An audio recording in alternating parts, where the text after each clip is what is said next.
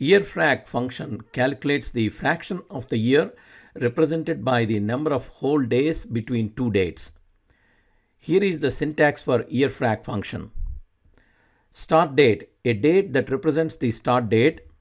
End date, a date that represents the end date.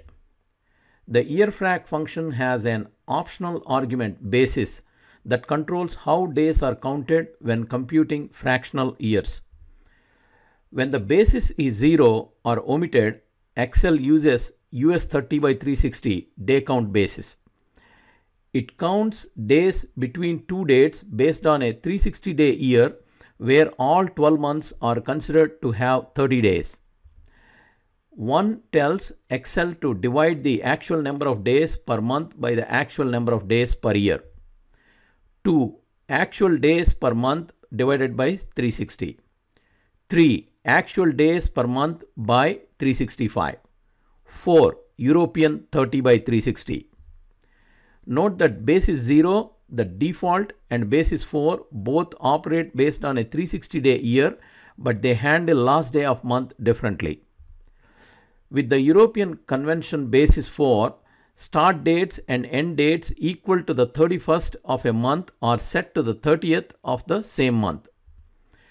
Example fraction of year between Jan 31st 2019 and Jan 25th 2021 is same as between Jan 30th 2019 and Jan 25th of 2021.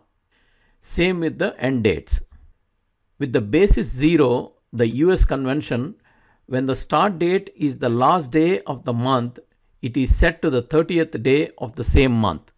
When the end date is the last day of the month and the start date less than 30, the end date is set to the first day of the next month. Otherwise, the end date is set to the 30th of the same month.